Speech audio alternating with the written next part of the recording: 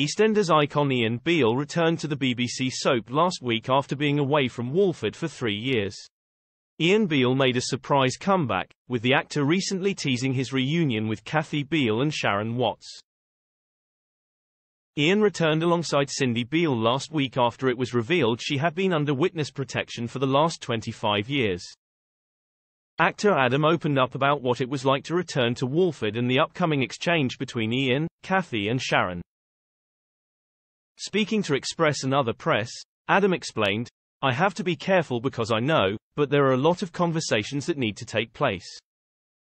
I think one of the most interesting ones is going to be process of making carbonara with Sharon. Discussing missing years with me mother, but there is a lot of water that has to be dealt with and we will. I think it's one of the lines with Phil Mitchell, it is short, I mean we just say each other's names to each other and I know just damn well that is going to be hysterical. When asked if he was excited to be reunited with actor Steve, he revealed, No I only saw him the other week. I bumped into him in London and we have done all the selfies but we couldn't stick them on socials because it would have given him away. In February 2020, Ian discovered that Sharon's teenage son, Dennis Rickman Jr., had been bullying Bobby Beale for his faith. Bobby was soon hospitalized after an Islamophobic attack, leaving Ian enraged and confronting Dennis during the Queen Vic boat party.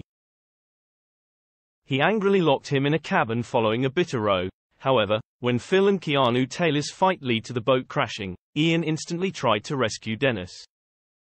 Despite his best efforts, Dennis died and Ian was left feeling guilty. Later down the line, Ian developed feelings for Sharon, However, his feelings were not reciprocated and he was soon attacked by Phil on Sharon's behalf after she learnt about Ian's role in her son's death. Sharon and Kathy rushed him to the hospital where they learnt he had a bleed on his brain, and fearing he was going to die, Ian proposed to Sharon, who accepted.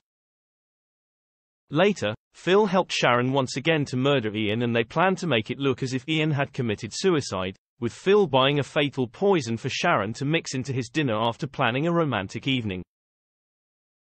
However, Ian found out the truth and confronted Sharon about her plan to kill him, just before he was about to eat her poisoned pasta. Luckily, Sharon had a change of heart and made Ian throw up the food, thereby saving his life, leaving Ian to flee the square.